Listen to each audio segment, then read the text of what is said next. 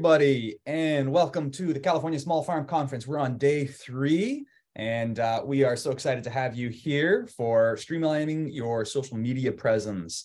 Um, we're going to be kicking off uh, today looking at the great wide world of social media and how you can apply that for your farm or ranch.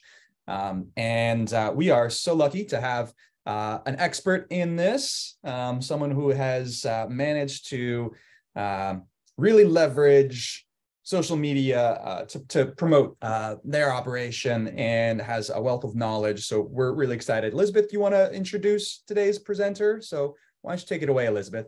Yeah, thank you. And I do have a couple slides just to get people settled in. Um, so yeah, welcome everyone. Um, we're actually including this as a third, the third part to one of our value-added product uh, webinar series. It's brought to you by the Tech Hub.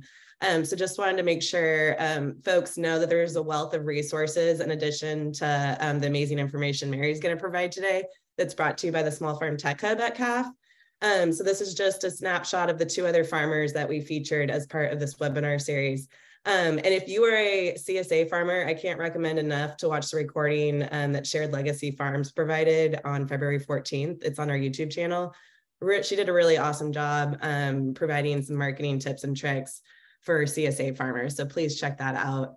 Um, and this is, like I mentioned, brought to you by the Small Farm Technology Hub at CAF. We provide a whole bunch of resources for farmers. So if you haven't uh, checked out our website with um, a list of those resources, please do so. Um, and we also provide uh, one-on-one technical support to small farm businesses operating out of California as part of our program. Um, so I have the link there. If you want to request for um, for some support, please feel free to do that. Um, I know we only have 45 minutes today, so I do really want to make sure we give as much time as possible to Mary. Um, we're thrilled to have Mary on this morning. Um, she's going to present to us on how to grow an audience, use specific tools and strategies to attract your ideal customer and monetize your efforts. Um, she'll also discuss how to convert your audience to grow an email list and the importance and effectiveness of marketing. Um, so she'll take it away here for the next um, 30, 35, maybe 40 minutes, and then we'll have some time for Q&A with the audience.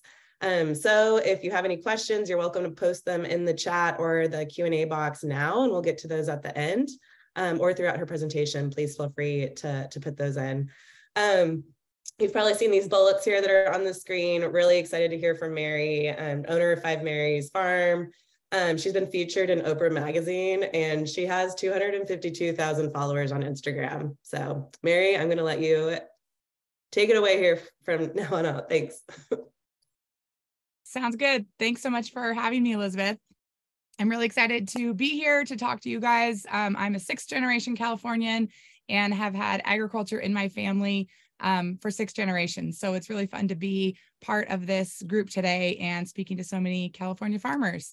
Um, my husband and I are first generation to really get back into agriculture um, as ranchers. My husband's father was a farmer, but row crops and raising cattle are very different. So we, um, my husband went to law school thinking that uh, it was going to be hard to. There was a wasn't really a place for him in his family operation.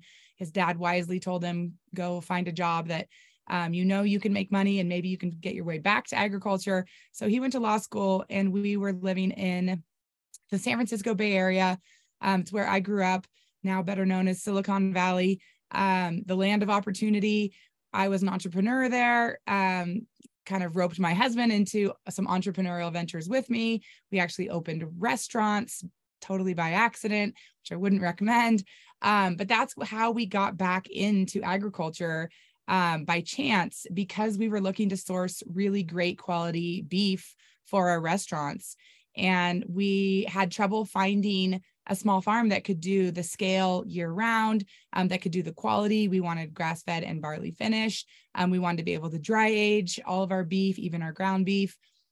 And in looking for this, um, we kind of naively thought, well, we know exactly what we want. We're passionate about this. Um, let's try to do it ourselves.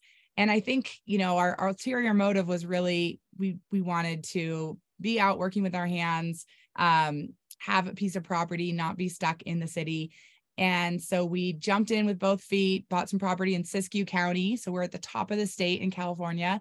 Um, and still kind of thought we could do this halfway and still have our old life in the Bay Area. So we were running our restaurants and our retail shops um, during the week. My husband was still practicing a little bit of law. And then we would come to the ranch on the weekends and try to start setting up operations.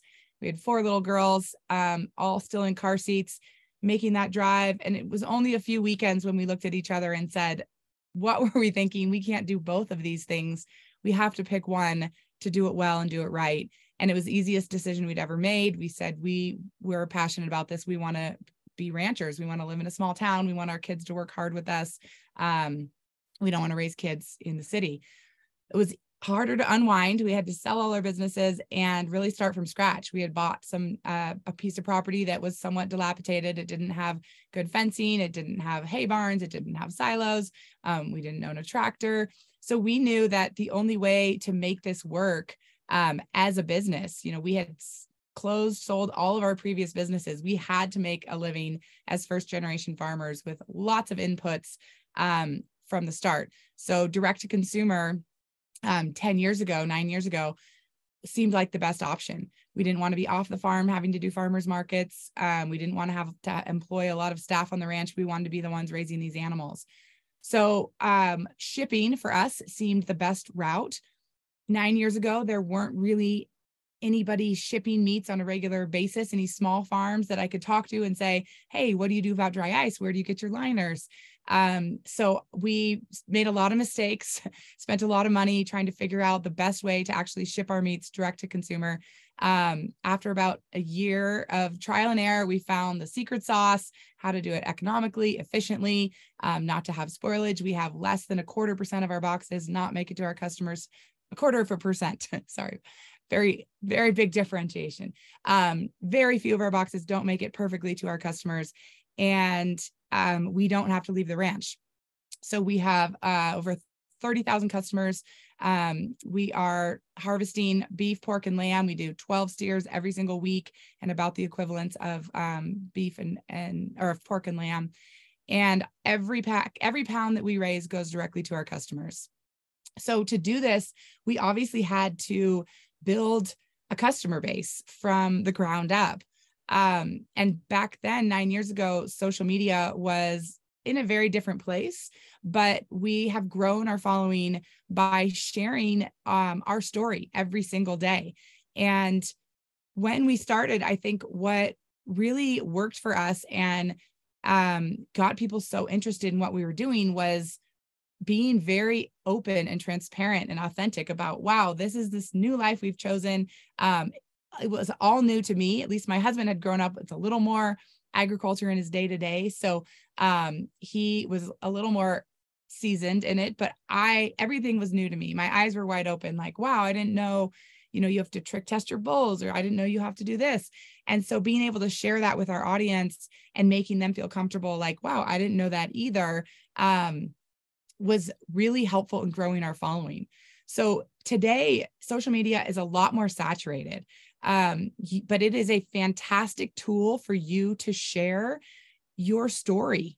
Everybody has a story, and you might think, gosh, you know, my story is not as interesting. Um, how can I, you know, compete with these people who have um, more interesting stories than I do? You have a story to tell. You have an angle you have some aspects of your life that are interesting and that other people want to be a part of. And when you can open up that window into your life and share that story, people find that connection with you and want to be a part of your brand and want to buy what you're selling. And that is really the secret to social media. Now, this doesn't mean that you have to share every nuance of your life. You can define where those barriers are if you don't want to share your children, if you don't want to share certain aspects. But to have people really engage with you, you need to share, you need to, they need to be a little voyeuristic and see a little bit into, gosh, how is this life different than mine? How is this similar to mine? Um, the behind the scenes. I always coach my um, entrepreneurs that people love the behind the scenes because it makes them feel a part of it. So if you are launching a new beef business or you're launching a new flower business, um, we want to do the opposite of what big businesses do, which is come out with a fully polished campaign. The product is ready. Everybody can buy it. The links are perfect. Everything works. Small businesses have a lot more leeway and a lot more, a lot a different angle that's going to work for us. And that is sharing the struggle and sharing the journey. And that's what people connect with. So, way before you even have a product ready, when you're trying to figure out what's our name going to be, are we going to take this generational name that's been passed down that we have, you know, multiple families in? Are we going to create our own path? What logo are we going to choose? How are we going to design our logo? What are our brand colors going to be? If you can share all those aspects, do a little poll on social media. Which do you love, A or B? What do you think our logo should be? Even if you're not that interested in other people's opinions, because oh, let's face it, sometimes it's too much information, just making people feel a part of it so that when you launch and you say, hey, look, here's our logo, you guys helped design this. Those people who saw that part of your journey are that much more connected to, to your whole process and your brand. And then maybe you you get your logo design and you sell some hats. Who wants to buy a baseball cap with our logo on it? I'm still figuring out our shop, but here's our basic website. I'm still working on it. Um, but you can buy one of our hats now and, and rep our brand. People are buying your hats, are excited to rep your brand. And then you finally have product, even if it's six months or a year from now. You can open your doors and say, hey guys, thanks for being along for this journey with us. Here's our product, or here's our new launch, or here's something exciting happening with our business. You can be a part of it. And those people that you've worked so hard to engage and cultivate, this audience that you've um, grown, they are hitting buy, send that to me. Yes, I want it. And you will have a much more successful launch or whatever it is. Um, now, growing these days is harder. Social media is saturated. There's a lot of noise on social media. Um, and you don't, nobody's going to grow overnight. We didn't grow overnight. It was very slow progress, um, being very thoughtful about what we're sharing, how we're sharing, how we're reaching new people. Uh, social media is free. It is a tool that only requires your time, and it's worth understanding and learning the ins and outs, especially of Instagram. We've grown mostly on Instagram.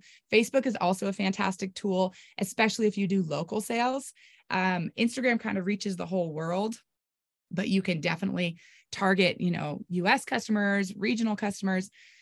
Facebook works really well for even smaller regions um, works great for local businesses if you're doing drop off deliveries, um, but it works great for everybody if you use it right. So it's worth investing time to understand um, what works for these tools, how you can apply these to your business, what your story is going to be, and how you're going to tell that story my husband always says agriculture has a great story to tell. We all have a great story to tell. We're just not all used to telling that story. You know, we're used to just putting our heads down and working, um, especially people in agriculture. But if you can find the time to open a window into your life and share the good and the bad, um, I always advise not the ugly. You don't want to, we're still trying to share our product here. So while we might share you know the cows on beautiful green pasture and then the hard day when we have to pull a calf and the calf doesn't make it and you know the feelings and emotions behind that that's the good and the bad and people want to see that. Don't share the ugly which is the cow abscess or a part of your operation um, that might turn people off from actually buying your product. So there's a lot of um, ways you can think about how you're going to share and what you're going to share and the more honest and open you are, the more naturally you're going to grow. People are going to connect with you just like the old fashioned word of mouth and say, you know what? I really love um, this this story, this person I'm following, their brand. I'd love for you to be a part of it. Um, I bet you're going to love them too. Go follow them on Instagram. That is the number one way to grow. And what a lot of people do is share each other um, on Instagram by saying, Oh my gosh, I just got this box from a small farm. When we were growing, I would send a lot of um, complimentary boxes. So I would send boxes to um, people that I know valued high quality beef, um, paleo people, gym kind of workout people, homeschooling moms that really cared about what they were feeding their kids, all natural um, programs. When you can sh- when you can target who your ideal customer is and send a sample to them with no expectation that you're going to share. If you say, "Hey, I'll, I'll send you this if you promise to share it," that's the first, the best way to have it not work authentically. You just say, "Hey, I just want to share this with you as a gift." Um, people sharing that can really open up a world to all of their network of followers. Um, and that just happens naturally. You know, you want to have really good branding. If you are shipping or you are doing delivery, whatever method you're getting um, your product to your customers, if it's in a simple brown bag, that's fine. That might be what works for you. But if it's in a box that's beautifully presented, that has a cute postcard on the top with your family on it and a photo and a little bio about what you do or a brochure, um, we do a lot of little recipe booklets. We did a Five Marys magazine that goes in there and it's like, you know, a giant brochure that has so much information on who we are and what we do when people open that and they have that wow factor, they're so much more likely to share. And that only works in your favor um, as you grow and as people want to tell your story for you. Um, so, social media, as I said, is a fantastic tool. I do have a lot of workshops that will teach you the ins and outs, what I've learned on what works for sharing social media and what will work for you. but I think it's also really important to remember that sorry i'm just getting over losing my voice. It's really important to remember that we don't own our social media platforms. So social media can change. Excuse me a little more water. So um instagram owns meta owns instagram meta owns facebook they get to decide how these algorithms work and what people see. And sometimes that can be frustrating. And it can be especially frustrating in agriculture because they aren't always pro ag. You can sell um, purses and sweaters on Instagram, but they won't let you link agricultural products in your shop. No dairy, no eggs, no cheese, no meats because of an animal cruelty clause they have somewhere in there. Does that seem fair? No. But do we own the platform? Also, no. So we have to use Instagram for the way it works and um, work with their parameters. A lot of people have gotten into trouble where their account gets hacked. This following that they've worked so hard and so long to um, amass all of a sudden can be gone and they have no access to that anymore. That can happen. So it's also very important and I think far more valuable to work on your email marketing strategy having an email list where you own the email address of that customer is a far more valuable than social media. So I use my social media to talk to a large crowd. We call it the cocktail party. Everybody's milling around. You have a, a lot of p- different people you could talk to with a lot of different interests. You want to whittle that down to a dinner party. Those are the people that are on your team, ready to buy what you're selling, and really care about you and your brand. So I say on social media often, Hey, do you want this free copy of my digital version of my Five Marys magazine. Um, here's my top 10 easy family dinner recipes. Give them something we call an opt-in that will they'll will they will happily trade their email address for. And then once you have these email addresses, it's really important to be sending email campaigns regularly and to provide value in them. Just like on social media, I think there's three main tenets for what you're sharing um, on social media and through your email content that you're sharing because you can get someone's email, but it's easy for them to hit unsubscribe. Getting them to open that email and consistently open that email and not unsubscribe um, is also a game that you need to understand and to play. So, um, when I'm sharing these things and I can get somebody's email, um, what I share on social media and what I share in my newsletter have different strategies, but the three tenants, like I said, are pretty much the same. You want to educate. Today, more than ever, people love to learn. They, everybody wants to be lifelong learners. They want to continue learning.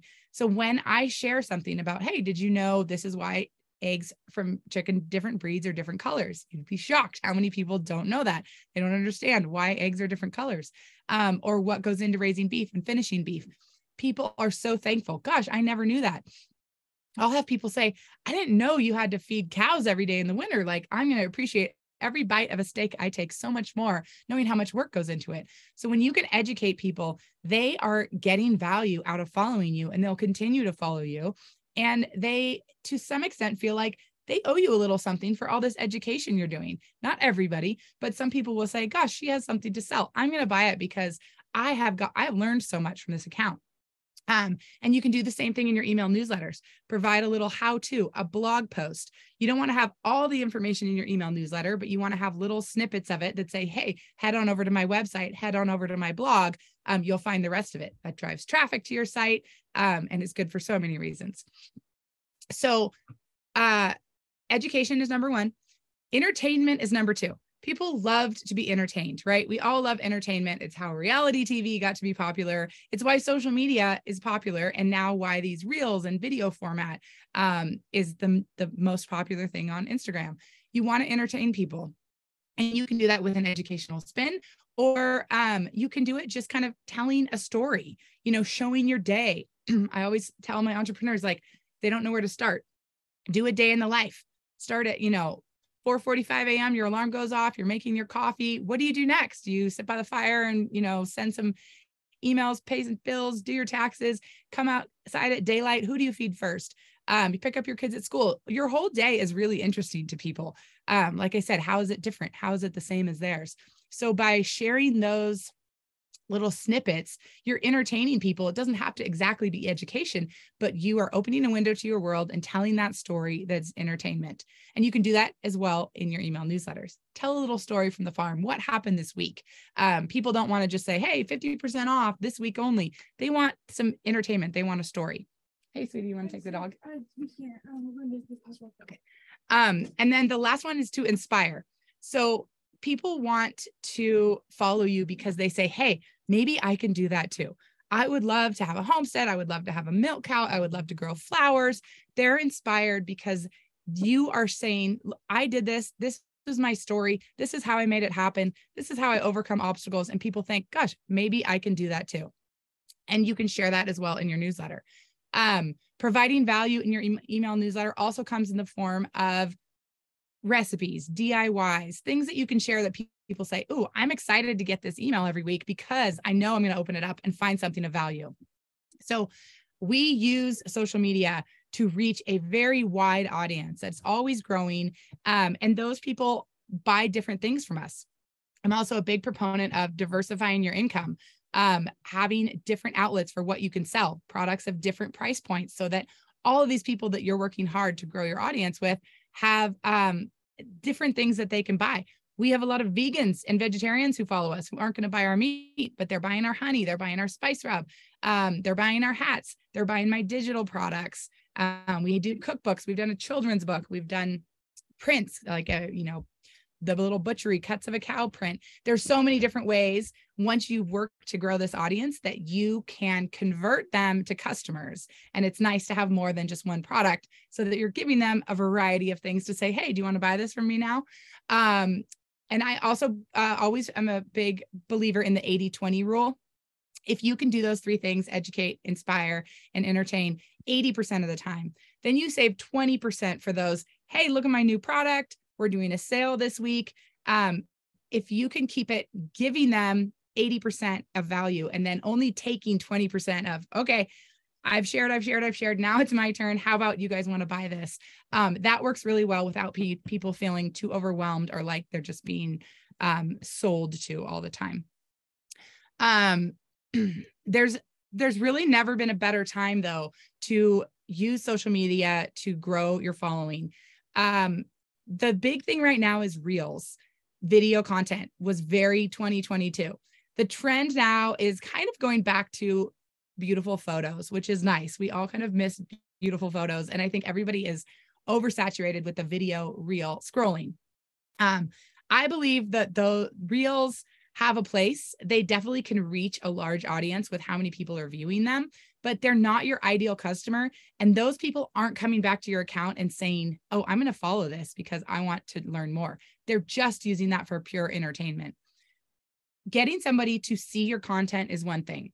When you look at your Instagram analytics, you'll see um, how many people you reach, how many followers you have, and what your engagement is. Those are all very important. Don't worry about your follower count. You can have a successful business with 100 followers. You can have a very successful business with 500 followers. Think of it in terms of a giant lecture hall or a concert hall. If you have 100 people that showed up in a room to listen to what you have to say, you can do a lot with that. There's a lot of potential sales. That's a lot of customers. Nurture those 100 people and you will grow naturally. If you reach 500 people and you think, gosh, but these people have tens of thousands of Instagram followers, like how am I going to have a successful business with 500 followers, even though I'm so proud that I got to 500 followers. That is huge. That's a huge audience that will naturally grow and work on providing great content for those 500 followers instead of worrying about that number. That number is a vanity metric. It doesn't mean anything and it does not determine the success of your business. Your engagement and how much people are um, you know, liking and commenting and engaging and sharing your photos and your posts. That's much more valuable number. That shows how great of a job you're doing of sharing content. And it um, really is a marker for how well you're going to grow to reach those ideal customers. So I would rather get one new customer, one new follower on my Instagram today from somebody who said, This is the best meat. You're going to love it. You're going to love their story. Follow them. That is a huge win. Than getting 10,000 people to view a new reel that are like, Oh, that's funny, interesting. Okay, whatever. Because you can even get them to your bio, but getting them to click follow is a lot harder. Sometimes they might see your content multiple times and know you're out there, um, but not follow you people are very um you know careful about their curated feed like who are they who are they following that is entering into their life um every day. And when you get them to your profile so they see one of your posts they some they see somebody shared some of your content they get to that point on your profile and you want them to hit follow right? The number one way the number one thing you need to remember about your profile is it is your billboard those top nine or 12 last posts on your main feed are the most important part. Come here, Jelly. Um, the most important part of what people are going to see. And that's always changing. Social media is hard because your content um, is really only 24, 48 hours. Sometimes something will kind of come back into the algorithm, especially reels. But the last nine to 12 photos um, or posts are what people see when they come to your feed. You need to make sure that you, your face, is in those nine to 12 photos. A lot of people aren't comfortable getting in front of the camera. I'm pretty much I'm an introvert. I don't love being out there, but I know Instagram works for my business. So I've gotten very comfortable. I talk to Instagram like it's my best friend who's a supporter of my business, loves what we're doing, buys our product. Don't think of the people that say, "Oh, uh, you, you, it's always in your head like, "Oh, my sister-in-law, she's going to think I'm crazy sharing this. I'm an oversharer, that person I went to high school with." Don't think of anybody who's going to be um, negative about what you share. Think about that one person who loves you and loves what you're doing and supports you, and you talk to them. So you don't get on there and say, Hey guys, I know all of you, blah, blah, blah. You say, Oh my gosh, you are not going to believe what happened. You want that person to feel like they are the only one you're talking to. Um, and you can, I connect to 250,000 people that way saying, You are the one I'm talking to. I want to tell you my story. And people feel like they're your friend and they feel that connection and they ultimately want to become a customer. Um, but the, to me, the reels, it is a great way to, to grow, um, to reach more accounts. But the real growth happens when you're creating real content that speaks to those followers who care about what you're doing, care about what you're selling, um, want to hit follow and want to be a part of your brand and ultimately convert to a customer. Um, and like I said, 10,000 people can see a reel and none will convert to be a customer, but real, honest sharing and other people sharing that, that's what converts. And you only need a few of those compared to the tens of thousands of just viewers that you're making content for. Um, but you really have to show up. You have to be in your feed.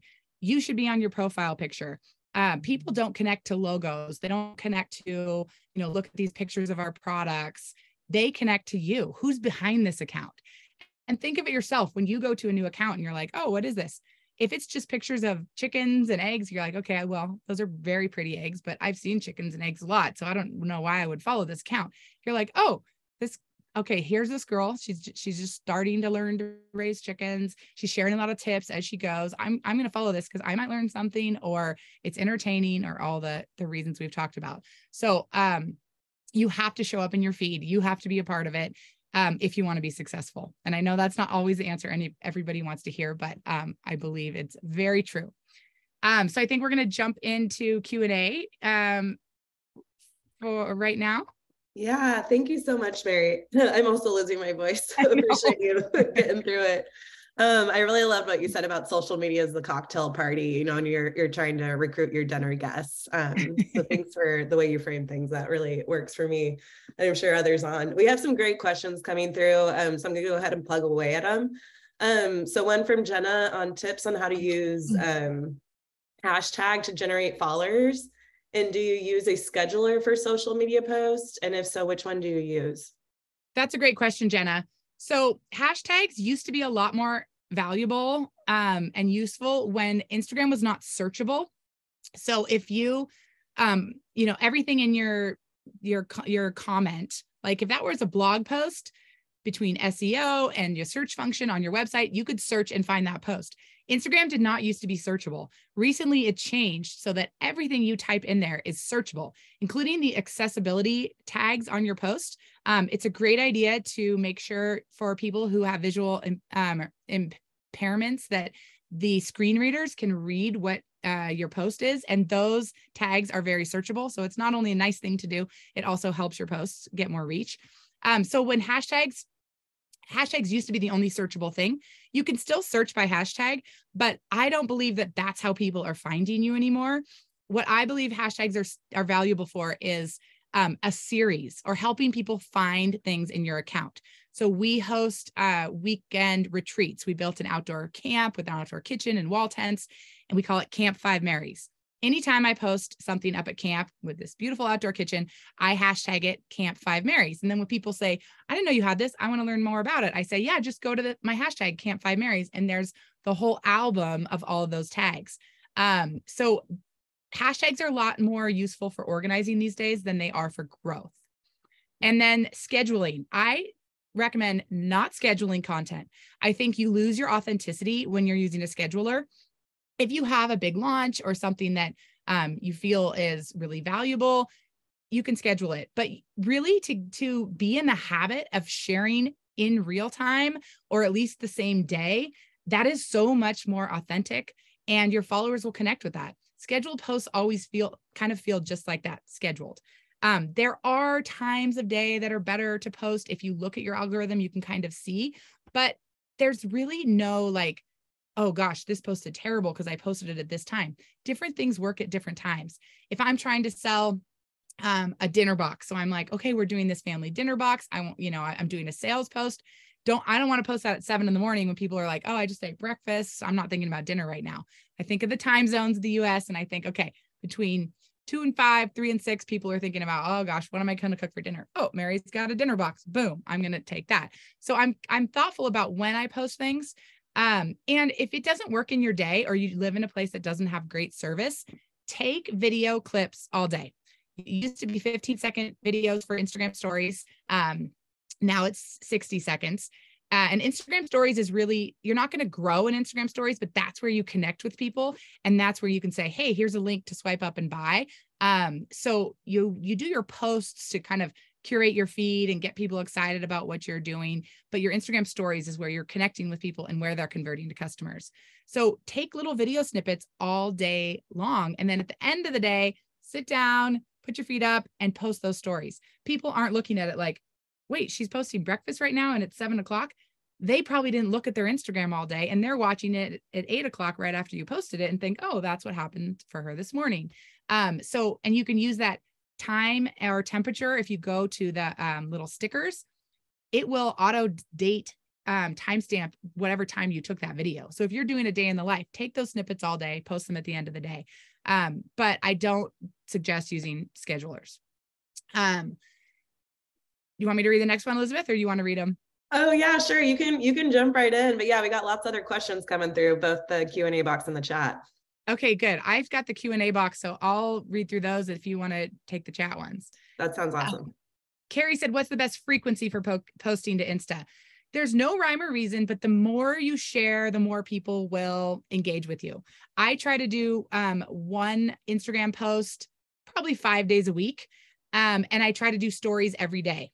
Now, there is a little trick to this. If your story views are getting lower, taking a break for 24 hours from posting on stories um, and then coming back with you in your face and like hey, I'm here. This is what I have to share. Doing one of the engagement stickers, like a question box or a slider bar or a poll, that can really boost your Instagram story views. Um, but other than that, just try to post um, on a consistent, but it doesn't have to be like, okay, it has to be like this every week. The more you share, the more return you get on what you're sharing. Just make sure it's interesting. You don't want to have stories all day long that aren't interesting and always use captions. How many times do you watch stories with no sound? You're lying in bed next to your spouse and you're like, I, I don't want him to hear what I'm watching. Um, you're in a public place, you don't want your kids over your shoulder all, mo- most people watch stories. I think it's like high percentage, 70 or 80% without sound. So either type out what you're saying, a little synopsis, or use the caption feature. Um, and you can edit those captions if they spell something wrong, just click it and you can edit it um, to make sure that people can read what you're saying and not if you just have a bunch of stories and you're talking with no captions people are going to swipe on by and that's not great for the algorithm Okay, Suzanne says, what percentage of your day or week do you devote to taking care of your socials? Does this vary seasonally? I would say um, probably two hours a day. I mean, it's my main job. It's where I see so much return on what I'm sharing, um, responding to direct messages, responding to comments. I'm not great at responding to comments because I feel like if I respond to a few, I need to respond to all of them. But I read and respond to almost all of my DMs, at least double tap liking them. Um, I have some efficiency tips and tricks um, that I share in some of my workshops for autoresponders. How, um, if you have an iPhone, you can go in your keyboard, or Instagram has a feature for this too. If people share my meat, I can type three letters and it says, Oh my gosh, that looks delicious. Thank you so much for sharing. Thank you so much for ordering and being a customer. Things that would take you a long time to type out, I can just hit a reply really quick and send a thoughtful response to that person. Um, does it vary seasonally? You know, sometimes in summer, there's more beautiful things to share. But like I said, people want to see the struggle. People want to see the hard days too. So um, I try to share pretty much all year long. Um, Charity, do you mind if we, or sorry, can we take one yeah. from the chat just to make yeah, sure? For sure. Yeah. So there's um, another fo- another person asking on advice on how to use social media differently based on your sales outlet. So if, if people are only selling at farmers markets or CSA um, versus a farm stand, um, do you have recommendations for that? Yeah. So if you're only selling regionally and you really want to, to reach the people that are in your area, um, location tags work really well for that. Like when you're at your farmer's market, always use that location tag to tag where you are. Use multiple ones. There's a park nearby, there's a restaurant nearby. People do tend to look at that and say, you know, oh, we're here, we're traveling, we're here this weekend, or we just moved here. What's there to do nearby? And they click on that and they see all your photos like, oh, wow, there's this farm that that's right near here that sells at this market or sells here. Um, the location tags can be really great for that. Facebook is really good for that, um, reaching people geographically. Um, I talked a lot about email marketing, but text marketing is also a very valuable tool. And with text marketing, you can target people by zip code, by county, by state. Um, that is a great platform if you're doing deliveries or sales. Um, good old fashioned postcard mailings. You can hire a company to say, hit this zip code and using what we call social proof saying, Hey, I'm already delivering to three people in your neighborhood who love what we're, uh, we love our CSA, love our selling. You should be getting it too. Here's our info. Um, hitting people, you know, in a targeted area like that works really well too. And social media still works. You know, you don't have to worry like gosh i'm reaching people but only 10% of them live near me. They're going to tell somebody like oh I, I just you live there you have to meet this person. Um it's not really a you're not wasting your time by sharing in the general population either. We have a lot of overseas people who you know then i came out with a cookbook and they're all buying my cookbook on amazon. So um you know at some point especially as you grow the more people you can reach the better no matter where they live Awesome. And then one last question from the chat. We can jump back to the Q&A box. Um, are you the only person posting or are you sharing any of these posting responsibilities? I'm the only person sharing. I think it's really important for people to feel that authenticity that it's me. Um, we have sub accounts. I have an M5 recipes account. We do a little um, an online virtual program for kids called M5 Ranch School. I have uh, a girl on my team who helps post for Ranch School. And sometimes for M5 entrepreneurs, we post um, different people, some of our members' accounts, and try to highlight them to get them some more visibility. So I do have sharing on that. But on my Five Marys Farms account, no one's ever logged into it. Um, it's only me, and I do think it's it's worth your time to um, devote to that. Awesome. Thank you. And we can jump back to Q&A box. Looks like Charity has her question up there. Yeah, Charity has a great question. I attract more farmers and ranchers, which is great for networking, but not so much for buying a product. That's been challenging to navigate. Any tips on attracting the right audience? So I think that's just really through the content that you're sharing. And I do think that can be really hard because um, a lot of times people, especially in agriculture, want to, you know, advocate is a big term now. That is attracting probably people that are like minded like you, or, you know, a lot of people are like, oh, you know, farmers and ranchers, we got to stick together. We work so hard. You know, legislature's hard for us. That's really alienating your ideal client. I really try to, I'm not saying you're doing this charity, but I really try to um, stay away from any soapboxing, you know, saying, are you have to be eating this product because it's higher in omega 3s or it's this or it's that or grass fed is the only way to go um, all of a sudden people feel guilt and confusion and they don't necessarily want to buy your product and you might be alienating other people who are in your industry so really focusing on this is the product we're selling these are the features of these products this is why it's awesome you know for us it's like we do an extended finish on barley we um, our USDA harvest at our own USDA butcher facility. We're dry aging. Why is Five Marys meat great? Not it's different, it's better. It's just great. And here's the reasons it's great. And here's the reasons you want to buy it. Um, you know, solving the problem for people. Can't think of what to do for dinner tonight. I've got a solution for you. Um, that really sells and will attract those customers who are more interested in um, buying your product. It's fine to attract farmers and ranchers, but uh, the content that you share should really be focused on attracting your ideal customer and they will come you know if you're sharing reels about um you know raising black angus who who are my black angus raisers out there here's all the reasons that you know this is hard this season that's not your ideal customer if you're sharing here's how to cook a great steak doing a reel about you know, sear it, reverse sear. Here's the what here's what you want to look for. Teaching people who are your customers, they will come. You just have to adjust your content towards that. um, Keith said, have you come across any new social media platforms to check out? You know, there's there's um seasons to all of them, right? I don't know. I'm old enough to remember MySpace, but MySpace came and went. Um, Facebook has stuck through it. That kind of Facebook took a dip and now it's sort of coming back. Instagram, I feel like just is very saturated right now, but it's still the best tool.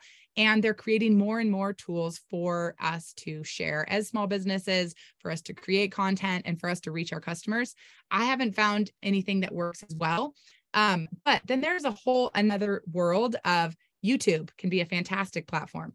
Pinterest is a great platform for if you're selling flowers, meat, CSA, produce, anything like that. People are going to Pinterest to look for those recipes and you can direct them right to your website. Um, podcasts are fantastic. In my course, um, we talk about a lot of these platforms and how to utilize them, but I always caution like you can't do all of them and do them well. Like I don't really worry about Twitter. Um, I'm not uh, doing TikToks. A lot of people are growing really fast on TikTok, but you have to think is that your ideal follower? or your ideal customer. I think you're going to find the most customers at that cocktail party on Instagram and then take them other places. But there are a ton of other platforms um, that can work as well. Um, Colleen said, uh, how much time a day do you send spend posting? Also, how did you get emails sent to you through Insta and Facebook? Um, posting it just depends. I'll post a lot of stories during the day and then probably do one one post. Um, in the beginning i think it took me a lot longer to compose a really well written um, caption and now i'm probably quicker at it. So uh, it's just probably different for everybody. And then how do you get emails through instagram and facebook is a great question. You want to use that link button. So um, i actually have a free little mini course on on setting up your email marketing um, that we just launched last week and people have been loving it. So we'll get you guys the link to that. But Flodesk is what I would uh, recommend for email marketing by far. It's the easiest. It's the least expensive as you grow. It charges you a flat rate instead of keep charging you as you grow. Um, and it makes the most beautiful emails for everyone's inbox. A lot of the other platforms, you really have to like know coding to make them beautiful. Flodesk is fantastic. Um, I have a link in my course for 50% off your whole first year. So don't join until you have that link to save $200. Um, but you can create in there what's called an opt-in. So that's a link that goes to a page that says, "Hey, um, do you want my, you know, free recipe book or download, or just do you want to join our email newsletter. And that puts them into your email marketing, um, which you really want to make sure you use. You don't want to send mass emails through Gmail or through your server. You want to use an email marketing platform. Um, and then what also is a tip I recommend for people starting out, the question box. It's a lot for people to click out. You know, if you're like, click this link to join our email list, they got to click out of Instagram, put the email in, and then go back to Instagram. People will do it, but they're much more likely to just drop it in a question box. So I'll say, hey, if you want the latest update or you want to know when our next sheep pelts release, here's a question box, and they type their email. You have to manually go and read all those and retype them and then upload them into your email marketing platform. But it's usually worth it. You'll get a lot more emails that way um, with that little trick than having people click out. Awesome. Thank you for that. Um, and yeah, if we could just have another minute for one more question, which I sure. think is a good one. Um, so social media sounds like a full-time job. Do you still work for with animals coming from Yolanda?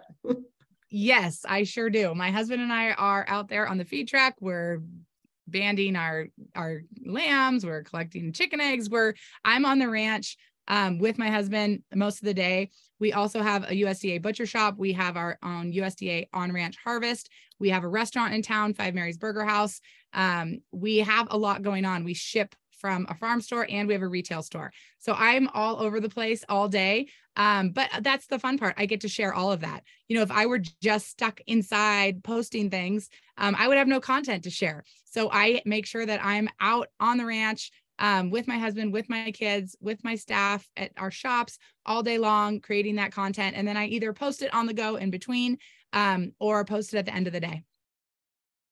Awesome. So inspiring. Uh, thank you, Mary, for, for sharing all this um, with us and our attendees.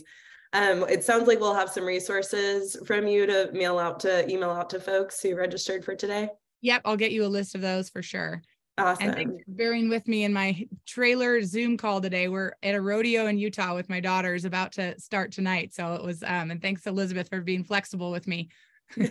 Absolutely. It's all part of the farm life and family That's life right. for sure.